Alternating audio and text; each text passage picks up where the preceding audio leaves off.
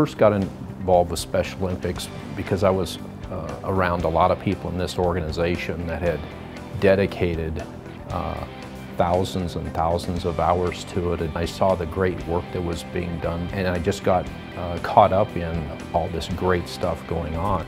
I got involved in 1996, had a sergeant, she said, hey, we got this torch run thing, I need you to do it.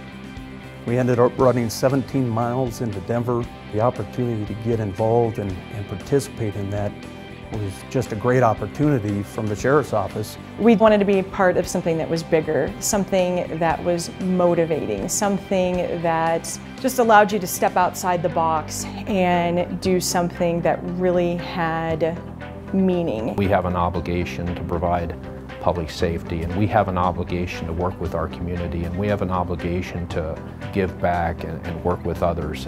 I think it's very rewarding uh, to be able to give back to our community in this manner. It's somewhat humbling. Uh, we all have you know, issues in our lives and stresses and things, but these kids deal with those things every day. And, and they get up every day and they give it their all. To get involved with torch runs and do these events like a, a polar plunge or a plane pull, and the athletes are with us. And we get to, it's together now, we're a team, and it is just life changing and it's awesome.